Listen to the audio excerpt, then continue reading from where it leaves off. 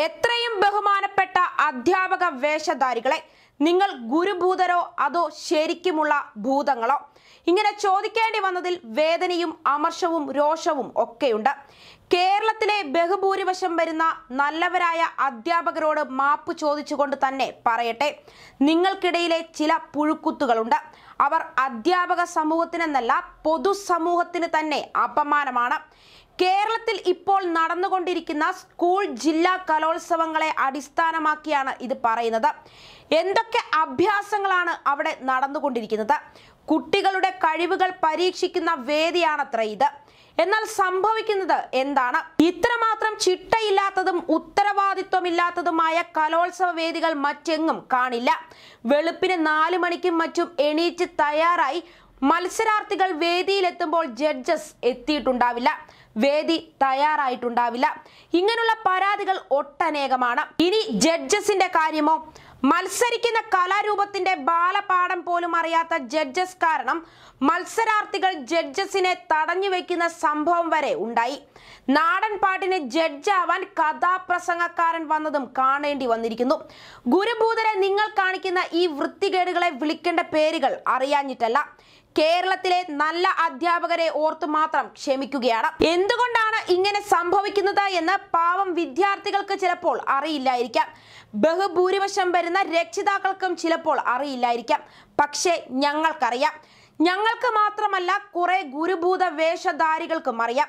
അവരാണല്ലോ ഇതിന്റെ എല്ലാം സൂത്രധാരന്മാർ. പിന്നെ കുറച്ച് രക്ഷിതാക്കൾക്കും സമ്മാനം കിട്ടാനായി സമ്മാനം കൊടുക്കാൻ തയ്യാറായിട്ടുള്ള നാണംകെട്ട ജന്മങ്ങൾ.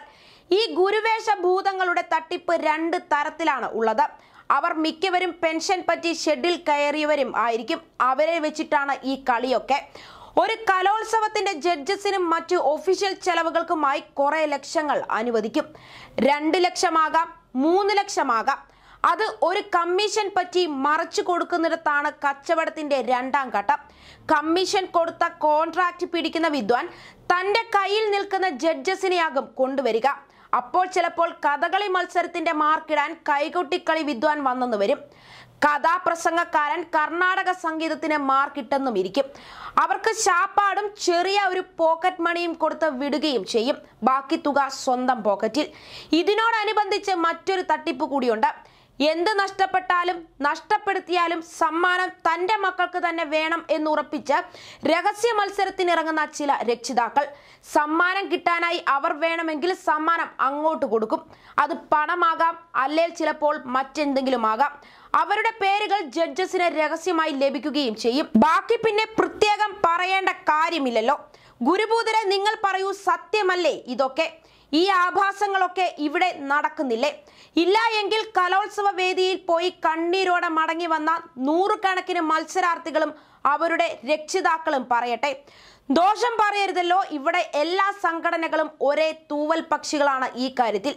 പരസ്പരം വീതം വെച്ച് ഓരോ ജില്ലയും അവർ അങ്ങെടുക്കും. പരാതിയോ പഴിയോ പരിഭവമോ ഒന്നും തന്നെയില്ല. വ്യാപകമായി പിരിക്കും. അധ്യാപകരിൽ നിന്നും നാട്ടുകാരിൽ നിന്നും ഒക്കെ പിരിക്കും. എഇഒ ഡിഒമാരെയൊക്കെ ഇങ്ങനെ പിരിക്കാൻ ഉപയോഗിക്കുകയും ചെയ്യും. ഗുരുഭൂതരെ പരമാർത്ഥമല്ലേ ഇതൊക്കെ? അല്ല എങ്കിൽ ചങ്കുറപ്പോടെ പുറത്തു വന്ന് നിഷേധിക്കുക. പറ്റില്ല നിങ്ങൾക്ക് നിഷേധിക്കാൻ പറ്റില്ല എന്ന് ഞങ്ങൾക്ക് അറിയാം. കാരണം ഇതൊക്കെ ഒരു വിഭാഗം അധ്യാപകർക്കും അറിയാവുന്ന സത്യങ്ങൾ തന്നെയാണ്.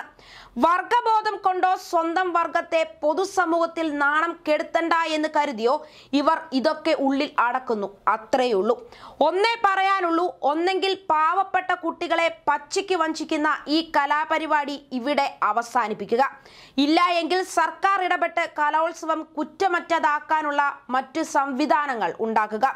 ഇല്ല എങ്കിൽ നാട്ടുകാരെയും കുട്ടികളെയും ഒരുപോലെ പറ്റിച്ച് കീശ നിറയ്ക്കുന്ന ഈ ഗുരുഭൂത ഗണങ്ങൾ കലോത്സവങ്ങളെ മാത്രമല്ല നാളെ കേരളത്തിലെ തന്നെ വിഴുങ്ങാനും തയ്യാറായെന്ന് വരും.